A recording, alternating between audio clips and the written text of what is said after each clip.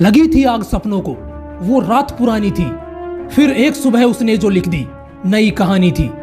10 दिसंबर 1914 लगभग शाम के साढ़े पाँच बजे, वेस्ट ऑरेंज न्यू जर्सी में एक बड़ा विस्फोट हुआ और दुनिया के महान आविष्कारक थॉमस अल्वा एडिसन की फैक्ट्री जलकर पूरी तरह तबाह हो गई।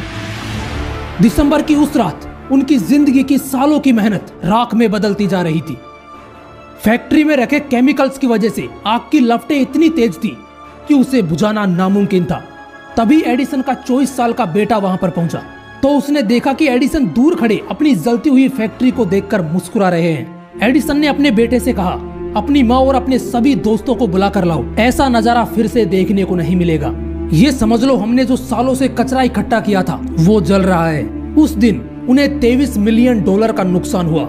दोस्तों, उस वक्त एडिसन रो सकते थे, गुस्से में चिल्ला सकते थे, वो डिप्रेशन में जा सकते थे। लेकिन इसके बावजूद वो मुस्कुराए और अगली ही सुबह फिर से एक नई शुरुआत में लग गई और अगले तीन हफ़्ते में ही एक न्यू पेटेंट फ़ाइल कर दिया। That was for a brand new phonograph कई बार ज़िंदगी में ऐसा दौर आता है जब लगता है कि सब कुछ तबाह हो चुका है। ऐसी परिस्थिति में रोने से बेहतर है एक नई शुरुआत करने के बारे में सोचो। बुरे वक्त से लड़ो, क्योंकि बुरे वक्त से लड़कर जो अपना नसीब बदल दे, इंसान वही जो अपनी तकदीर बदल दे।